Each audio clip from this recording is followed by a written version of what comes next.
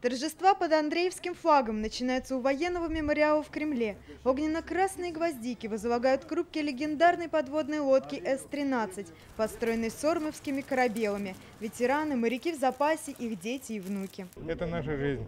Да. Вся, начиная с 17 лет до, скажем, последней точки до увольнения в запас, посвящены военно-морскому флоту. Я служил на Северном флоте, из ребенка сделали мужчину. День военно-морского флота отмечается в России с 1939 года. Сейчас границы нашей страны защищают надводные и подводные силы, морская авиация, корабли и суда специального назначения. Участвовать в отражении нападений противника приходилось и командиру корабля Анатолию Ступакову за плечами 33 года службы в Тихоокеанском флоте. При выполнении ракетных стрельб в Японском море. Так получилось, что подбитая ракета крылатая попала в один из кораблей, который назывался Муркамусун. Погибло 39 человек, 33 мы спасли. Вот, сейчас им установлен памятник. В Нижнем Новгороде отмечают не только те, кто в море, но и те, кто на суше обеспечивает боеспособность кораблей, проектирует и строит.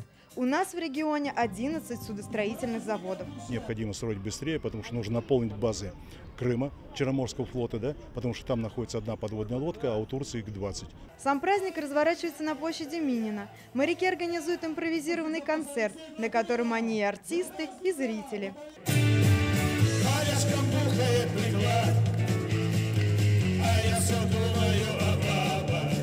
Здесь же на площади Минина агитируют молодых людей пойти на флот на контрактной основе. Говорят, интересующихся много, и в основном все в Мурманск хотят. Виктория Кузьмина, Максим Веселов. Объективно, ННТВ.